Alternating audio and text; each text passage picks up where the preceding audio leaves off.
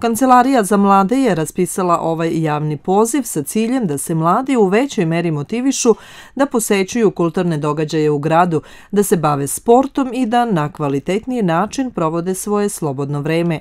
Mladi jesu bili aktivni, ali ne u tolikoj meri. Nadam se da ćemo putem omladinskih kartica stimulisati mlade da češće posećuju određene događaje i manifestacije zato što su im obezbeđeni popusti od raznih ustanova, javnih preduzeća i privatnih firmi.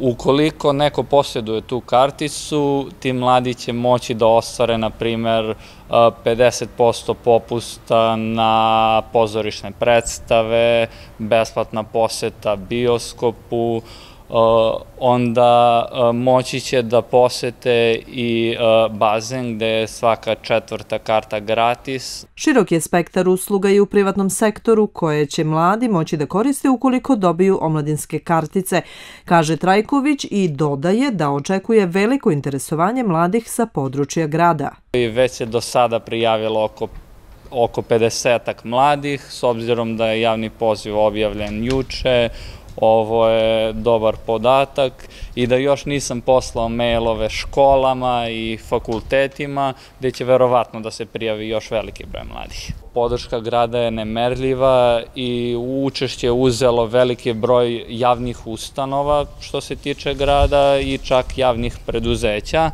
tako da je grad podržao ovu inicijativu kao i svaku inicijativu Kancelarije za mlade i koja se tiču napređenja položaja mladih. Što se tiče procedure, potrebno je najpre popuniti formular koji je objavljen na sajtu grada i na Instagram i Facebook profilu Kancelarije za mlade. Korisnici usluga prilikom podnošenja zahteva su dužni da dostave popunjeni obrazac zahteva, najkasnije u roku od 7 dana treba poslati poslovnu sliku radi personalizacije omladinske kartice na mail kzm.vranje.gmail.com. Rok za dostavljanje prijave je 24. jul.